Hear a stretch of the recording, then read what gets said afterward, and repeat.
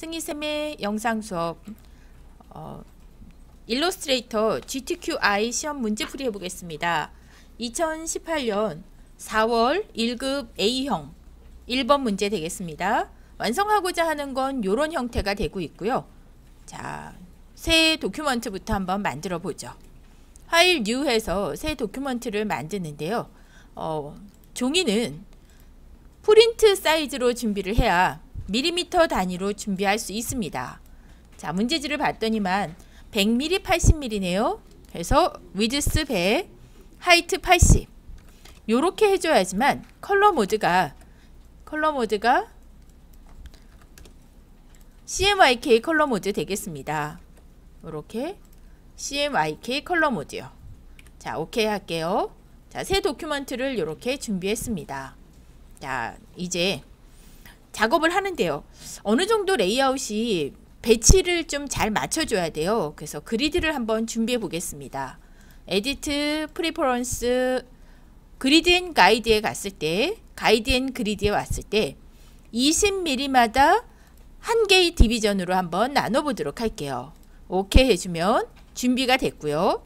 View 메뉴에 Show Grid, 그리드를 보겠다라고 하면 그리드가 준비됩니다. 이때 우리가 Transform 패널에서요.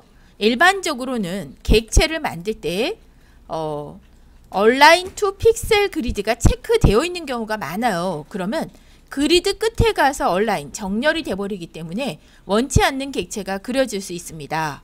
Transform 패널의 역삼각형 팝업을 누르고요. Align to to Pixel Grid 이 체크가 꺼져 있어야 내가 그리고 싶은 대로 객체를 그려줄 수 있겠어요. 이 부분은 항상 염두에서 작업해 주시고요. 자 그러면 소 모양을 한번 완성해 보도록 할게요.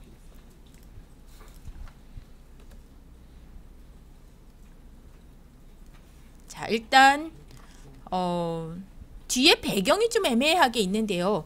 어, 객체를 그림에 있어서 일일이 객체를 만드는 경우도 있지만 음, 실제로 사용되는 컬러를 옆에다 만들어 놓고 하면 저는 좀 편리하더라고요. 자, 문제지를 보게 되면 주어진 색상이 있죠. 자, 그래서 옆에다 하나 만들어 보도록 할게요. 사이언 50에 yellow 100짜리로 해서 박스를 하나 만들었고요. Alt키를 눌러서 밑으로 복사를 하는데 Control D 눌러서 여러 개 반복 복사를 해서 사용하겠습니다. 자, 두 번째 컬러는 마젠타 20에 yellow 70. 마젠타 20에 yellow 70. 자, 사이어는 0 되겠네요. 자, 세 번째 컬러는 마젠타 40에 마젠타 40 yellow 70 자, 그 다음 컬러는요. 어, cyan 0 마젠타 0 0000 되고 있군요. 0 자, 흰색을 말하고 있죠. 그 다음 컬러는 K100 자, 이럴 때는 이렇게 slider bar를 짝짝 움직여주는 것도 괜찮습니다. 어, 그리고 K50이네요. K50 나머지는 0 되겠습니다. 그리고 어, 마젠타 40, yellow 50 마젠타 40, yellow 50 그리고 사이어는 0 자, 그 다음 컬러는 어, 마젠타 40 나머지는 0 그리고 마젠타 70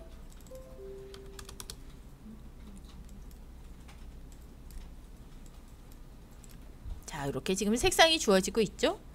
그리고 gradient가 하나 주어져 있네요. cyan 70에서부터 cyan 70 나머지 이 상태에서요. 여기에 gradient를 하려고 합니다.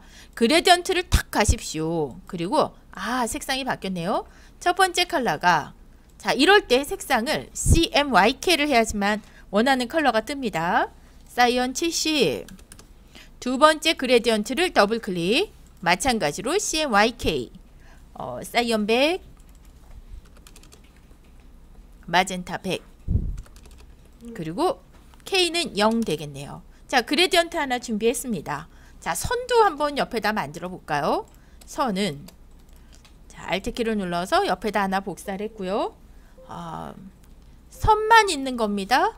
선이 50, 100. 오, 요거네요. 그리고 스트로크는 4포인트. 자, 또 하나 Alt키를 눌러 복사를 했고요. 선만 있는데 K가 50. 그리고 스트로크는 1포인트. 자, 여기까지 해서 현재 화면에 쓰여지는 컬러를 좀 준비했습니다. 아, 꼭 이렇게 안 하셔도 돼요. 이렇게 하게 되면 조금 작업이 수월하더라고요. 자, 원을 그리려고 하는데요. 원은 색상을 꼭뭐 뭐 어떤 색상 안 줘야 됩니다. 요, 요 색상으로 한번 시작을 해볼게요. 자, 원 선택하시고 중앙에서부터 Alt Shift를 눌러서 정원을 하나 그렸습니다. 자, 이렇게 그렸고요. 요 원, 원 안에 지금 소도 들어가 있는데 뒤에 이렇게 무슨 들판 같은 요런 게 표현이 되어 있죠. 그거부터 먼저 작업을 해볼게요. 자, 원툴로요. 자, 선택 툴을 이때 편리한 방법이 객체를 이렇게 선택하고 난 다음에 작업을 하게 되면 그 컬러가 바로 적용이 됩니다. 자, 객체를 이렇게 그려볼게요. 위치는 제일 뒤로 보냈고요. 제일 뒤로 보내기 단축키 control shift 대괄호 열기 자 여기까지 준비된 상태에서 나머지 작업을 진행을 하고자 하는데요. 어, 지금 보니까 약간 원의 모습이 기울어지면 이렇게 기울어져야 될 것 같으네요. 약간 기울어지게. 네, 이 상태에서 아 저 같으면은 브러쉬를 이용해서 작업을 하려고 합니다. 얘를 선택한 다음 뒤집어서 브러쉬를 브러쉬 툴에 있는 브러쉬 하나를 가지고서 브러쉬 툴로요. 어, 넉넉하게 슉 하고 브러쉬를 하나 그렸습니다. 자, 브러쉬를 이렇게 그리고 나서 복사를 한번 하죠. 자, 이 브러쉬를 Alt키를 눌러서 자, 그림을 봤더니 이 주황 라인이 하나, 둘, 셋, 넷, 다섯, 여섯 개군요. Alt키를 눌러서 한 개, 두 개, 하나, 둘, 셋, 넷, 다섯, 여섯 개. 근데 브러쉬 라인이 너무 똑같네요. 이럴 경우에는 브러쉬 라이브러리를 artistic 어, artistic 캘리그래피를 라이브러리에서 불렀습니다. 브러쉬를 조금씩 라인을 다른 두께를 주기 위해서 브러쉬 모양을 바꾸고요. 너무 두껍다 그러면 선 두께를 조절하십시오. 어우 얘는 너무 두꺼운데요. 0.25 그거보다도 더 작게 0.15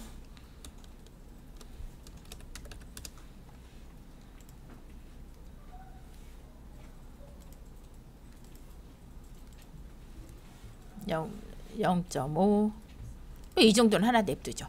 자 이렇게 작업을 했습니다. 좋습니다. 자 이제 반대편으로 복사를 하기 위해서 얘네들을 몽땅 선택 잡고요. mirror 한번 해볼게요. reflect죠. 단축키는 O 되겠습니다. Alt키를 눌러서 이 원의 중심이 되는 지점에 맞춰서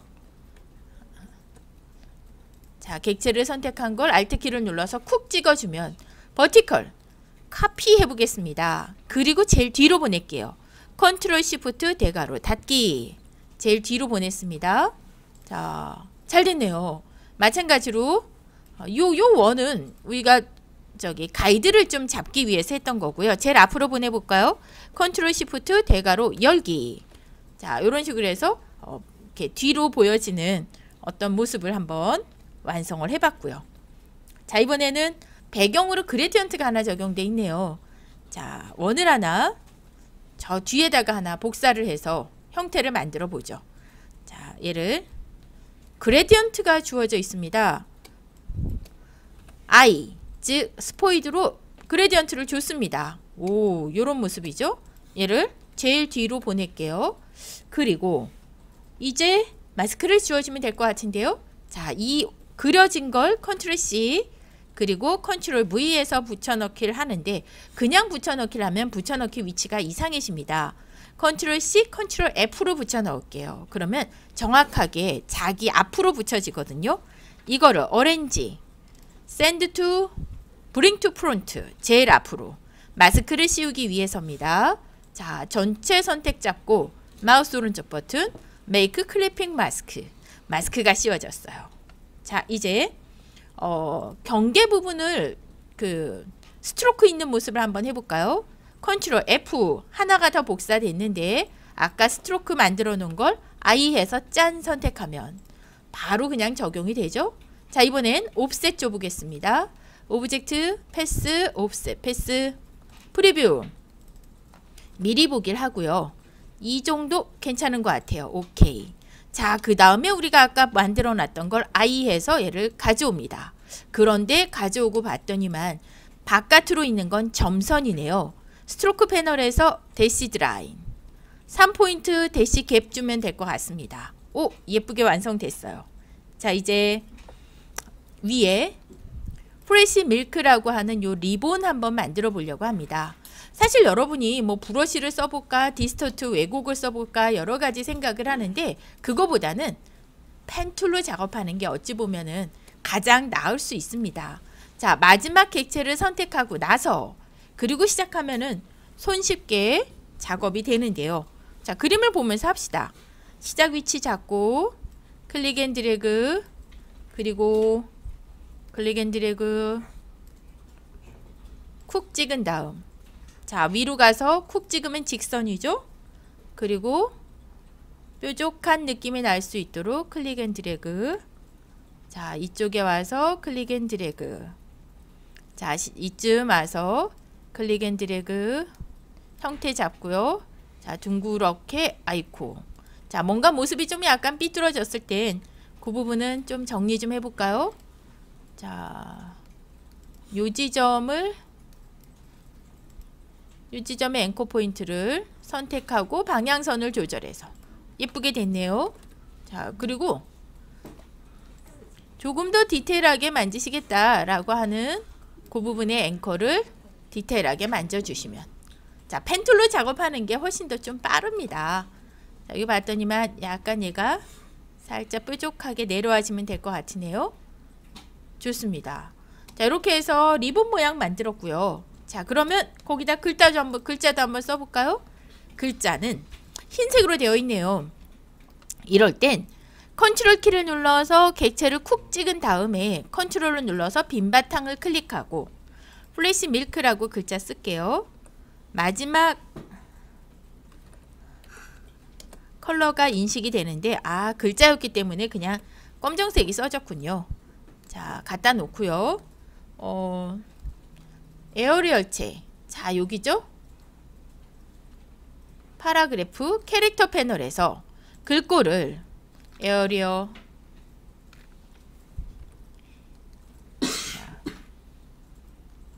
자 지금 요거는 한글 글꼴이라 한글 글꼴이 제가 무료 글꼴이 좀 많이 설치돼 있어서 영문 글꼴을 찾기가 조금 어렵네요. 자, 아래로 내려가서 영문 글꼴 선택할게요. 자, 여기 찾았습니다. 에어리얼 책. 그리고 어, Bold. Bold 선택을 했고요. 글씨는 20포인트. 그리고 흰색으로. 자, 여기를 흰색. 위치를 잘 잡아 보겠습니다.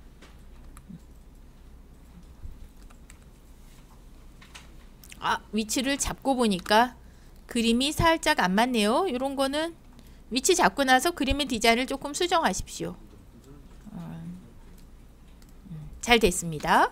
자 이번엔 소를 그려야겠어요. 아 이게 소가 만만치 않군요. 자 이쪽 옆에서 그려서 한번 옮겨보도록 할게요.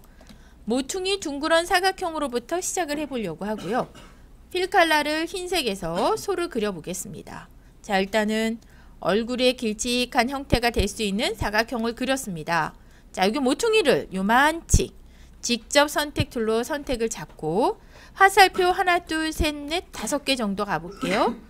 이쪽도 하나, 둘, 셋, 넷, 다섯 개. 그러면 유사하게 대칭을 이루는 이런 얼굴 형태가 됐고요. 밑에 핑크색 입부분을 한번 만들어 볼까요? 자, 뭐 얘는 저는 모퉁이 둥그런 사각형으로부터 한번 시작을 해볼게요. 이때 둥그러미가 화살표를 이렇게 누르고 있으면 어느 순간 약간 곡선처럼 느껴지도록 화살표 어, 모퉁이 둥그런 사각형을 Rounded Rectangle 툴을 쓸 때요. 화살표 위로 가기 아래 가기를 눌러주게 되면 곡선을 결정해 줄 수 있습니다. 경계 부분의 곡선을. 자 이렇게 만들어서 요 윗부분 아랫부분 하나를 준비했고요. 그리고 이번엔 그냥 원툴로 여기 아랫부분을 이렇게 동그랗게 오 예쁜데요. 자, 두 개의 객체는 얼라인 패널에서 수직 정렬 그리고 패스파인더에서 합집합 자, 여기 지금 봤더니만 색상이 핑크색이네요. 자, I I는 스포이드를 말합니다. 이렇게 선택을 해줬어요. 자, 이제 위치를 좀 갖다 놓고 한번 해볼까요? 그래야 어느 정도 크기라든가 비례라든가 그런 걸 만져줄 수 있을 것 같으네요. 자, 여기 지금 가져왔습니다. 약간 두툼한 것 같아서 조금 줄이고요. 어, 뭐 마음에 드네요. 자, 이제 이 얼굴이 얼굴 점박이가 있습니다. 점박이는 더블 클릭해 들어와서 칼툴 한번 써볼게요. 칼툴로 눈 있는 부분 땡그르 하게 자르고요. 자, 여기 위쪽에 점박이 부분 물결처럼 자르고요. 아래쪽 입 있는 부분 점박이도 이렇게 잘랐습니다. 자, 선택 툴로요. 잘려진 객체를 Shift 키를 눌러 다중 선택 깜장색 방, 빈 공간을 더블 클릭해서 나오면 이렇게 완성이 됐습니다. 자, 이제 눈 그려볼까요? 원툴로 자, 여기다가 Shift 키를 눌러서 동그랗게 원 그리겠습니다. 자, 요거를요. 선택 툴로 Alt 키를 누르고 드래그를 하면 얘는 복사입니다. 흰색. 아이쿠. Alt가 제대로 안 됐군요. 다시요. 얘를요. Alt 키를 누르고 드래그를 해주면 복사인데 잘 안 되네요. 에이. 이럴 땐 컨트롤 C, 컨트롤 F. 그리고 크기 조절합시다. 크기 조절한 건 흰색. 그리고 한 번 더 컨트롤 F 또 크기를 조절한 거는 눈동자. 어, 좋네요. 자. 그리고 아, 저는 그거 어려운데요. 그러면 직접 동그라미 이렇게 그려도 됩니다. 자, 직접 원 그린 것은 흰색 이런 식으로 눈동자를 만들었어요. 어, 좋고요. 자, 그 다음에 이번에는 반대편에 귀 한번 만들어 보도록 할게요. 자, 저는 어, 귀를 귀를 만들 건데 약간 이렇게 기울어진 모양의 타원으로부터 시작을 해볼게요.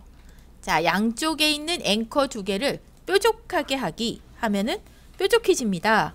그리고 마음에 드네요. 요거가 귀가 한쪽이 살짝 접혔는데요. 자, 더블 클릭해 들어가서 펜툴로 이 살짝 접혀진 부분의 모습을 라인을 하나 이렇게 그렸습니다. 자, 지금 어떤 모습인지 될까요? 자, 이렇게요. 면과 선을 나중 선택한 다음 Divide 써볼게요. Pathfinder의 Divide. 자, 요 버튼입니다. Divide. 그랬더니 나눠졌고요. Ungroup 해서 그룹을 풀고 아래 거는 색상이 약간 회색이네요. 자, 빈 공간 눌러서 빠져나오고 빠져나온 상태에서 아까 회색 만들어 놨던 걸 Eyedropper로 선택을 해주면 오 귀가 만들어졌습니다. 자 이게 지금 귀 되겠고요. 어, 배치를 한번 해볼까요? 살짝 납작하게 하고 Rotate를 줘서 여기 눈 뒤 위쪽에 갖다 놓고요. 순서가 조절이 돼야겠죠. 자, 그냥 무조건 뒤로 가게 되면 그룹 묶어서 할게요. 컨트롤 G. 그냥 무조건 뒤로 가게 되면 이 면보다 더 뒤로 갈 수 있어요. 이럴 때는 하나하나 뒤로 가기를 해줘야 됩니다. 컨트롤 대괄호 열기. 자, 이렇게 하다 보면 어느 순간 예쁘게 뒤로 간 순간이 있어요. 뭐 이 정도만 뒤, 오, 너무 갔네요. 하나 앞으로. 이렇게 뒤로 보냈습니다. 네, 이어서 뿔 그리기 해보겠습니다. 뿔의 색상이 될 객체를 콕 찍었다가 빈 공간을 눌러서 pen tool로 시작을 하게 되면 뿔 색상으로부터 만들 수가 있어요. 자 여기 뒤에서 직접 만들어 봅시다. 자 뿔을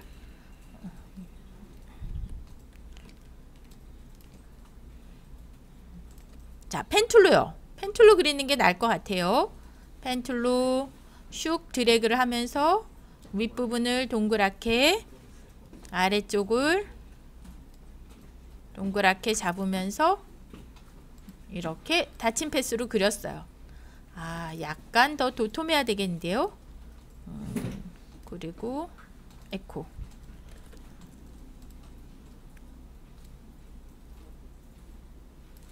음, 좋아요. 뭐 이 정도로 해봅시다.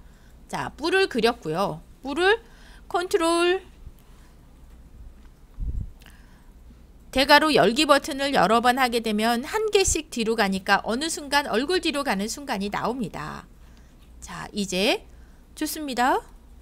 어, 아쉽게도 얘가 뿔이 좀 더 올라왔어야 되는데 뿔이 조금 작네요.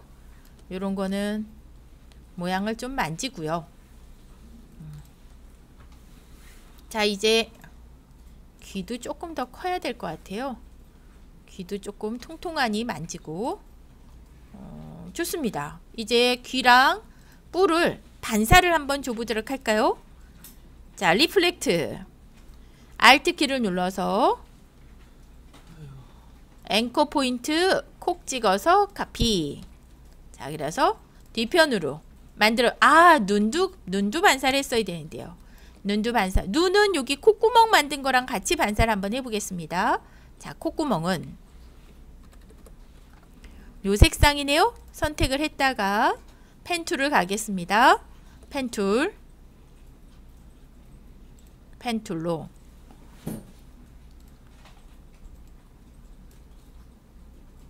click and drag 하면서 콧구멍에 곡선 모양을 그려주십시오. 마음에 드네요. 자 그러면 반사하길 원하는 객체들을 선택해서 Shift를 누르면 다중 선택입니다. 자 반사 툴에 가서요. Alt키를 누르고 Alt키를 누르고 반사하길 원하는 앵커의 위치를 쿡 집어서 카피 자 이렇게 했더니만 모든 것이 다 완성이 됐습니다. 네, 좋습니다. 그런데 하고 나서 나는 뭔가를 좀 수정하고 싶어요. 특히 여기 마스크를 수정하고 싶어요. 그러면 더블 클릭해 들어가십시오. 그리고 내가 수정하길 원하는 어, 모습들을 선택을 잡아 볼게요. 제가 이렇게 봤더니만 요 뒤에 있는 요 부분과 요 뒤에 있는 요 부분이 살짝 아래로 내려와야겠어요. 얘는 내려가시면 안 되겠네요. 어,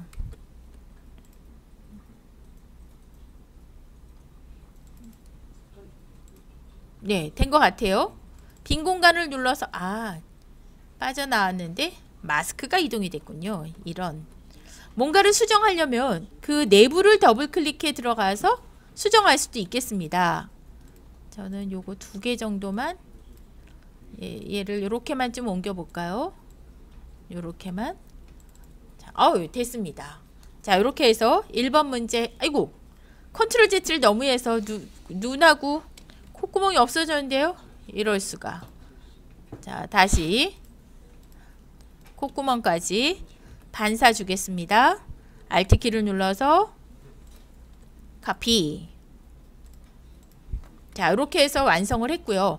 아, 아까 연습을 하, 그러니까 정확하게 컬러를 선택하기 위해서 여기다가 복사를 해놨었잖아요. 그래서 그 요부 만들어 놨었던 사각형들은 지우고 저장을 자, 여러분 수험번호 다시 성명 다시 1번 1 이런 식으로 해서 저장해서 제출해 주면 되겠습니다.